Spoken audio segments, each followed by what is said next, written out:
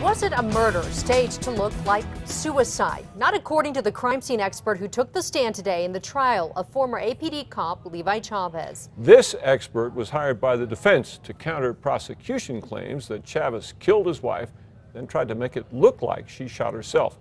The defense expert says it looks to him like suicide. News 13's Alex Goldsmith is live at the Sandoval County Courthouse. Alex? Dick, Jessica, the defense's only witness today, attempted to debunk much of what prosecutors and their witnesses have been arguing about the scene where Tera Chavez died. In this case, uh, the body appeared exactly as I would have expected it to appear if this were indeed a suicide. Violent crime consultant Larry McCann says it sure looks like Tera Chavez killed herself with her husband Levi's APD issued gun. McCann told the jury when crime scenes are staged, often they're too clean or too neat.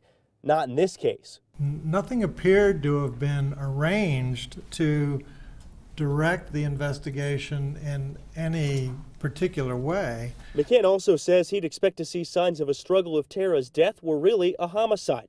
There was no evidence of a struggle, although prosecutors have claimed Tera was asleep at the time, drowsy from cold medicine. Earlier in the trial, lead Valencia County Sheriff's investigator Aaron Jones said it was suspicious Levi told the 911 operator Tera was shot in the head when he says he found her in a dimly lit room, something Jones couldn't discover until the lights were on. McCann says there's nothing suspicious about that given how Tera looked. Most anyone could look at that and say there's a head injury of some type here.